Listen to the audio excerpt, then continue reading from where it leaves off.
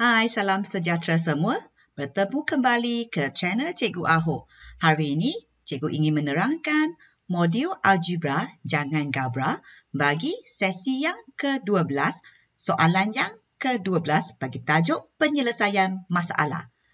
Jom, mari kita tengok soalan yang ke-12. Untuk soalan yang ke-12 iaitu luas padang sekolah Cairo yang berbentuk segi empat tepat ialah 3x kuasa 2 tambah 21x meter persegi. Diberi panjang padang sekolah ialah 3x meter.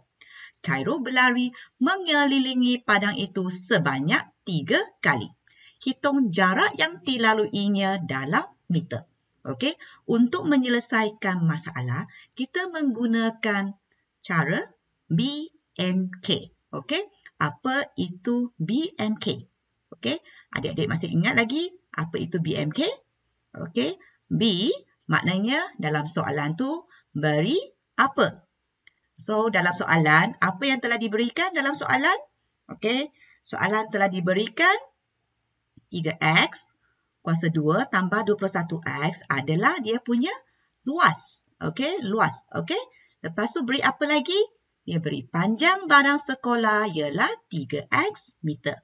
Okey, so apa yang telah diberikan dalam soalan adalah luas segi empat tepat iaitu bersamaan dengan 3x kuasa 2 tambah 21x. Manakala panjang yang telah diberikan ialah 3x. Okey, so M, M tu apa? Soalan minta apa? Okey, apa yang kehendak soalan?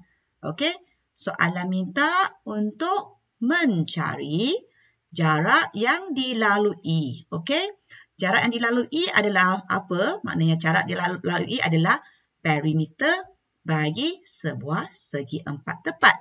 Iaitu adalah tiga kali perimeter. Sebab dalam soalan dikata mengelilingi padang sebanyak tiga kali. Okey? Untuk K pula, apa itu K? K adalah nak kira kira apa? Kiralah jawapan. Okey. Macam mana kita nak mengira untuk jawapan soalan ini? Okey. Ini dah adalah maklumat yang diberikan dalam soalan. So ini kita dah tahu kita, uh, soalan minta kita untuk mencari jarak yang dilalui. Okey. Maka kita perlu mengira okey perimeter. Okey, macam mana kita nak mengira perimeter? Untuk mengira perimeter, kita mesti ada kena cari lebar. Okey? Sebab kita diberi luas, diberi panjang tetapi kita tak ada lebar. Okey? Maknanya kita kena cari lebar. So, kena kira untuk dapatkan lebar. Selain itu, kita perlu mencari perimeter padang. Okey, untuk memudahkan pengiraan, kita uh, boleh lakarkan segi empat tepat. Eh? Okey, segi empat tepat Okey, bagi sebuah padang tu. Okey, kemudian maklumat yang kita ada adalah luas sama dengan 3x kuasa 2 tambah 21x. Okey, panjang dia adalah 3x. Untuk mengira luas sesuatu segi empat tepat, rumusnya adalah bersamaan dengan panjang darab dengan lebar. Okey, kalau untuk mendapatkan lebar sahaja, makna kita boleh ambil luas bahagi dengan panjang. Okey, makna kita boleh tukarkan rumus, tukarkan perkara rumus supaya menjadikan lebar sama dengan luas bahagi dengan panjang. Okey, mari kita cuba cari lebar dengan gantikan maklumat yang kita ada.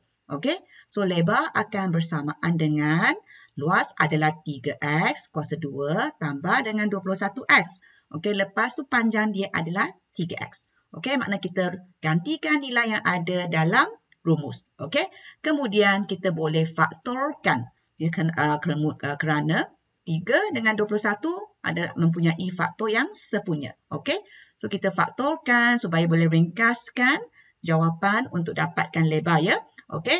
Apabila kita buat pemfaktoran, kita boleh keluarkan 3x. Mana 3x dengan 3x, okey kita boleh mansuhkan. Okey sebab 3x bahagi 3x adalah bersamaan dengan 1. Maka jawapan akhir bagi lebar adalah bersamaan dengan X tambah 7 meter. Setelah mengira lebar bagi padang tersebut, maka kita boleh labelkan uh, lebar tadi iaitu X tambah 7 dalam gambar rajak. Okay? Iaitu Ini adalah lebar dia. 3X adalah panjang. Untuk dapatkan perimeter adalah jumlahkan nilai untuk semua yang mengelilingi padang. Okey, so maknanya kita ada 2X tambah 7. Kita boleh ambil 2 darab dengan X tambah 7. Kemudian kita ada 2 3x. Kita tambah lagi 2 darab dengan 3x. Okey. So untuk dapatkan jawapan, kita kembangkan ungkapan ini seperti biasa. Okey, 2 darab dengan x, 2 2x. 2 darab dengan 7 adalah 14. Kemudian 2 darab dengan 3x adalah 6x. Okey. Maka adalah bersamaan dengan 2x tambah 14 tambah 6x. Okey, kita boleh permudahkan ataupun ringkaskan jawapan ni dengan jumlahkan 6x dengan 2x. Okey, maka jawapan akhir adalah sama dengan 8x tambah 14 meter. Okey, ini adakah ini adalah jawapan akhir? Okey, tidak ya. Kenapa tidak? Sebab dia kata mengelilingi padang sebanyak tiga kali.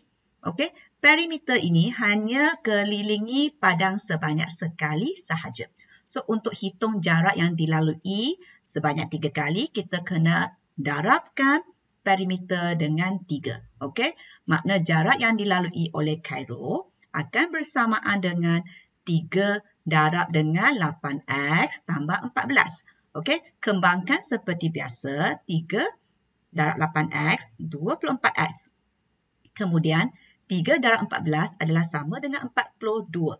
Maka jawapan akhir bagi jarak yang dilalui adalah sama dengan 24x tambah 42 meter. Itu saja bagi sesi penerangan bagi siri yang ke-12 untuk soalan yang ke-12. Okey?